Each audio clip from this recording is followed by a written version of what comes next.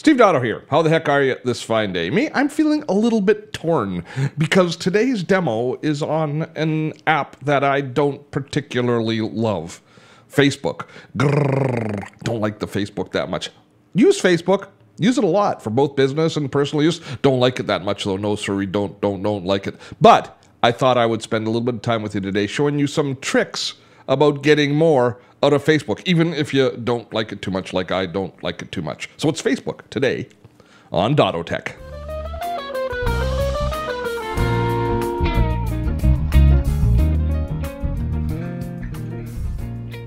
All right, let's dive in to Facebook today on Dottotech. Don't do a lot of Facebook demos on Dottotech. The reason is I don't like them as a business partner. They keep changing the rules, and, and they're just a difficult company to embrace, aren't they? Nevertheless, many people whom I do embrace are on Facebook, so it's a necessary evil, not just from a personal perspective, but also business perspective. I use Facebook an awful lot for business, uh, but I they've made some changes recently, and there's just it's just time that we did a little bit on Facebook, don't you think? So the first thing I'm going to show you is actually very way cool, and I have to do a shout out to my Facebook mentor Mari Smith and to uh, Mike Gingerich who first pointed this out.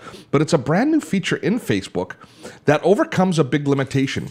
You know how let's let me go jump over to a group that I belong to. Uh this group here. Is this is this my group here? Let's go to this group here. Oh, that's me. Let's go to my group. Sorry. It's YVR bloggers. That's it. So this is a little group that I belong to. It's a bunch of bloggers, and they share some really good information and really good content. And every once in a while, a gem gets posted. And it doesn't have to be in a group. A friend of yours can post the most hilarious video of a cat falling off the back of a couch, or indeed something very useful that you might want to save.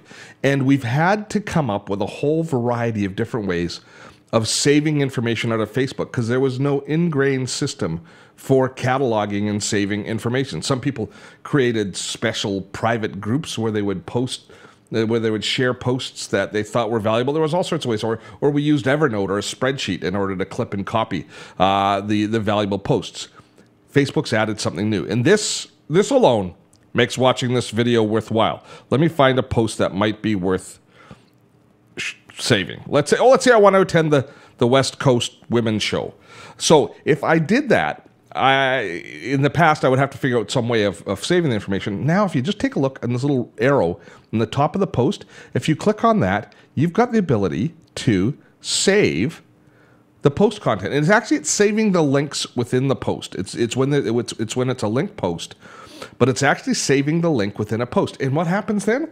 Well, then we can go back into our account. When we enter our account, down the right hand side here, we've got access to all sorts of different tools. But this is a brand new spanking tool right here called Saved. If I click on Saved, they well first of all they tell you exactly what's going on but these are the links that i've saved so these are links that i think are are valuable the first one that i saved was how to do this save feature the second one is the only six exercises that i really need which i think is awesome and the third one is the West Coast Women Show. But you see, you can also save videos, places, music, books. There's all sorts of other things. I'm new to the saving, but I like the saving.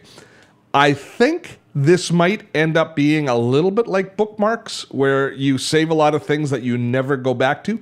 But if you use it properly, you know what it, it will save you from having uh, is is when you want that video or that post, that, especially when you want to show it to your partner when they want to get home that night. You don't want to share it on their timeline and become a, a timeline spammer, that sort of thing.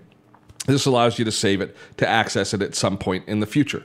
That alone is a great new feature built in to Facebook. Now, one of the other things that I want to show you right now is how you deal with people who you like. You don't want to unfriend, but they're rather overzealous Facebook posters. You know who I'm talking about. You might think I'm one of them. I don't think I am. But there are people who you who, who you don't want to unfriend. You wouldn't want to unfriend them, but they just overpost. They post too much in an area. It's too political or it's too too puerile. I don't know. What, whatever reason is, I got to find somebody that's not going to be too insulted by me. Uh, oh, here, here, my cousin, brilliant musician. There we go. Let's pretend I don't want Brooks anymore. In this, I would never do this, Brooks. But uh, let's pretend that I don't want Brooks, he likes Taylor Swift. So does my daughter, and I kind of like Taylor Swift too. But let's say that I found that egregious, and I just am tired of Brooks' po- posts. I can still remain his friend, so we can still stay in touch with all of the contacts again by doing this magic little down arrow button that's in posts. And what I can say is, I don't want to see this or it can turn off the notifications from this person. So you can you could also unfollow somebody right here if you didn't want to, but I don't want to unfollow him. I just basically say, you know, turn off my notifications from Brooke. I can still reach out to him in my in my in my contacts if I want, but I don't necessarily want to see that in the newsfeed anymore. You'll note that I did not do that in this particular case. But that's an idea. That gives you a, a little bit more control over your over your uh, over your news feed, over the content you get in your news feed, which is you know it, Facebook has like over hundred thousand different criteria in their algorithms to determine exactly what it is you see, and it's it's it's a mystery to you and I. Next thing I wanted to show you deals with your kind of your personal side, which is dealing with these uh, these headers. This header art and putting together these images for your header is becoming increasingly uh, well. I, I, always really enjoy when I visit people's pages and see what they've chosen to use as their Facebook header art, and of course as your as your uh, your cover image as well, the image that you use. So these this becomes uh, for a lot of us that are graphically challenged. It's a challenge for us to come up with really good and creative ones. We see people with brilliant cover art. There's two tools that I wanted to talk to you about. The first is this one here, which is called Tricked Out Timeline. Very cool. It basically walks you through the process, and I'm not going to go into it right now, but I'm just going to show you what our examples are, where you can do things like merging your cover photo and your profile photo. And if we take a look here, like they, have got this person here with the ski, or they're kind of highlighting out the skier in the photo. Do you see that? Isn't that a cool concept? So these are creative ways of adding uh, the jigsaw puzzle piece I really like. And, you know what? It works. It works great. The, the, example that they've got here. Let me show you the missing jigsaw p- puzzle piece. You're pulling it out of a team photo or something like that. Pulling the person out. You see how they've done that? So that's a cool concept. So that really dresses up your timeline. If you want to do a little bit more, uh, there is no better tool currently than this tool here, Canva, which is a free tool for creating all sorts of social media graphics and artwork. I've got a link here to my demo of Canva where I show it to you in the first place. But this is the darling of the social media crowd because it does a great job of not just creating cover art, but also creating posts. I just got sick. Look, I just got sick of all of the uh, what do you call them? The uh, click clickbait posts. So I just posted a click an anti clickbait post that I created in Canva in about 35 seconds. So it's uh, it's this is the tool that I use now for creating a lot of my different social media posts. Certainly for Facebook cover art, you just click on cover art here, and it automatically formats it to the correct size, as does the previous app that I was looking at, the uh, Tricked Out Timeline. It formats it properly, but you can choose their backgrounds, you can purchase backgrounds, you can upload your own backgrounds, and you get to see exactly what it's going to look like with your profile picture in there as well. Very, very nice indeed.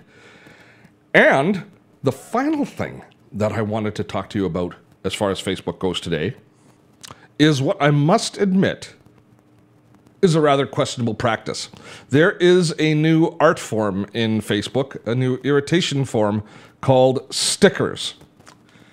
You're going to see them all over the place. There are emoticons gone wild. Uh, if we take a look here, and if you are posting something, you click here in your emotion area, in the emoticon area. And why is it not doing it? Uh, of course, it doesn't do it easily for me. I go, well, maybe it's when you reply to a post, you don't create a post. Let me pretend I'm replying to this wonderful post that I created. You click here, see, post a sticker. You see that? You click on this, and you've got these preloaded little soup, well, cats. Uh, cats, or you can also choose these things called meeps. And if you go in the plus, you can go to the sticker store, which, yes, you can buy stickers. There's a lot of free ones though. So these are the sorts of things you're going to see on people's timelines. The OMG, OMG, isn't that great? No, I, I don't think this is great. I don't know why I'm even showing you this right now, but oh, good, the Sinister Oyster. So you can get a whole bunch of Sinister Oyster. There looks to me like there are dozens of these stickers that are now going to be littering our timelines as people look for new in kind of cutesy ways. Oh, look, there's Snoopy mods, moods, Snoopy moods, excuse me, Snoopy moods. Okay, lots of different stickers. So we're going to see lots of different stickers on our timeline. That's how you get to them is by clicking on that little sticker button on the right hand side of the uh, of the uh, of the post window of the uh, of the reply window. And that's it for today. There, I've done a Facebook using Facebook post. I feel a little bit icky, especially with the stickers, but I feel really good about the first thing that I showed you, which was the saving posts. That's really, really useful, is it not? And I also feel good, frankly, about the whole up- upgrading your timelines. I think timelines are an awesome way to, to express ourselves. I hope that you found this video today to be useful. If you have, there's three ways to stay in touch with us here on Dottotech. Actually, I guess there's four. You could you could become a fan on our Facebook page. I never really mentioned that. But the three primary ways are please subscribe to this channel, sign up for our newsletter where we let you know about all of our upcoming live events, and finally, Dottotech is supported by the community which views us through Patreon, which is a crowdfunding site. If you're interested in becoming a supporter of our community for as little as a dollar a month, you can make a huge difference. Please click on the Patreon link and have a look at that. Until next time, I'm Steve Dotto. Have fun storming a castle.